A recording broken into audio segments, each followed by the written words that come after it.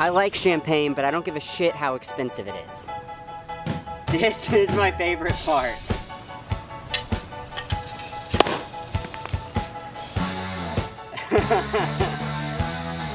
this one only costs like $8, and this one cost 50 Honestly, I kind of prefer the $10 bottle. Champagne is not just for fancy occasions, and I'm tired of rich people being the only ones that get to drink it casually. Both Kris and Kylie Jenner have champagne vending machines that cost over $35,000.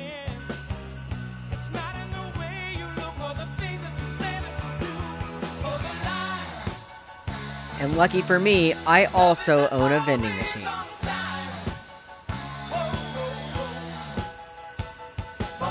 So I'm gonna make my own champagne vending machine, and it sure as hell isn't gonna cost $35,000.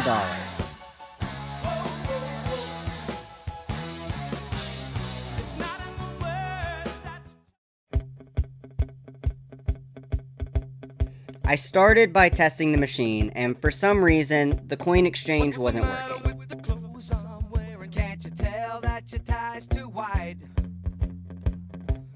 I spent a week trying to figure it out.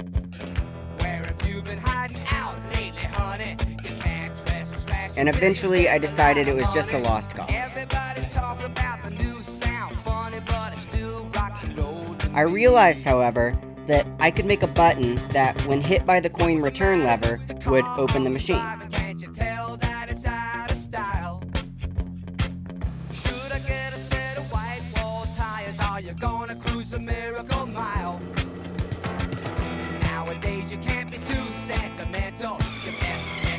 Plus, now the machine is free to use and it doesn't require people to have change on them. Because it isn't 1950 and the only people carrying coins are old people and really bad strippers.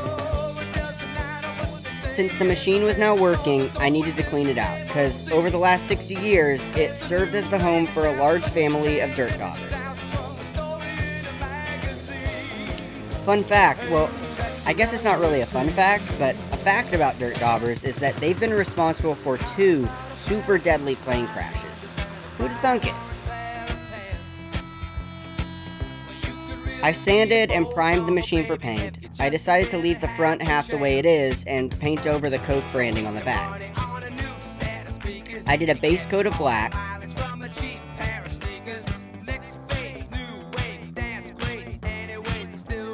then taped off again and painted part of it gold. I like the contrast of the fanciness of the gold and champagne with the beat up front of the machine. I removed the front sign for paint, which, surprise, surprise, had more dirt dauber nests, and I painted it.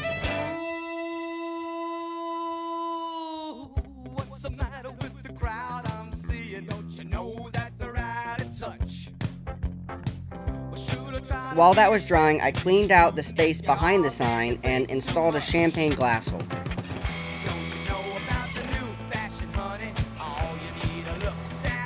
Finally, I removed the gross fake wood from the front.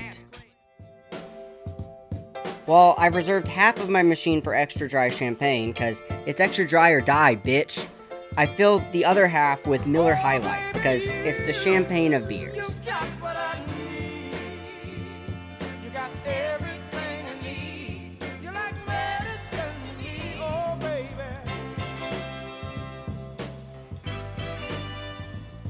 Look, I'm gonna be frank. This machine is one of my favorite things I've ever made.